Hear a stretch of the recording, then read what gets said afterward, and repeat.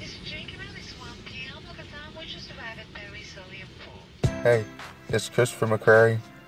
I live in Houston, Texas, and I went to a news release back in the summer of 2015 for a tour in Straubing, Lauf, and Munich. And we did camps there. We held ceremonies, played basketball, and it was just a great time, great experience. Um, some of y'all may remember me from Pain Station. I know y'all may still hurt from that, but y'all get better. Um, it was a pleasure seeing all y'all grow and grow in your faith and on the basketball court.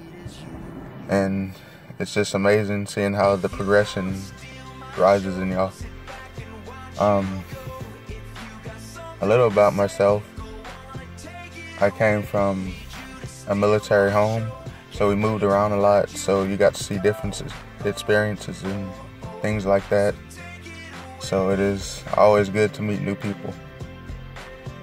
Um, I just wanted to talk about something going on in the world right now. Um, we're in a time where war is going on and people aren't showing too much love. Um, but there are some out there. I met some in Germany, and uh, you know, the good once the good overshadows the bad, this world will be a better place. So keep your heads up, keep going, keep being you, stay in Christ. Um, a Bible verse that always helps me and it's my favorite is Philippians 4:13. I can do all things through Christ who strengthens me. And to me that means you can do anything, literally anything. The sky is the limit. You can keep pushing, you can keep going. When things get tough, just pray. And when you make a mistake, ask for forgiveness. I know it seems, you know, hard sometimes, but it's just that simple. Jesus laid out the foundation for us to follow. I just hope um, this message gets through to some people and that y'all are still doing your thing and hooping and praising God. I'm going to end it with a prayer.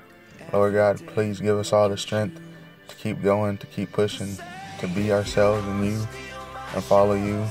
And this crazy world is going through some things, but Lord God, please keep us strengthened and keep your power going through us and let us be a just a, a blessing to other people.